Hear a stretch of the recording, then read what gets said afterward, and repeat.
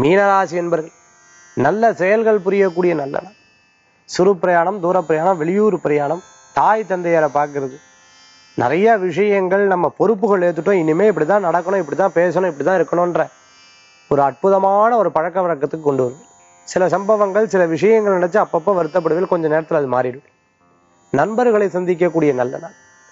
விடாமுயற்சி உங்களுக்கு பல்வேறு வெற்றியை தரக்கூடியதான் குலதெய்வ வழிபாடு உங்களுக்கு மேன்மேலும் மேன்மேலும் மேன்மேலும் பெருகும். சில நபர்களை வேலைக்கு வச்சுட்டு அவ வந்து அதுக்கு சரியான கம்ஃபர்ட்டா இல்ல. அப்பவும் தெரிஞ்சுட்டு வச்சுக்கிறது அறவே தவிர்த்துக்கிறது நல்லது. வேற ஆளா பாத்துக்கிறது நல்லது.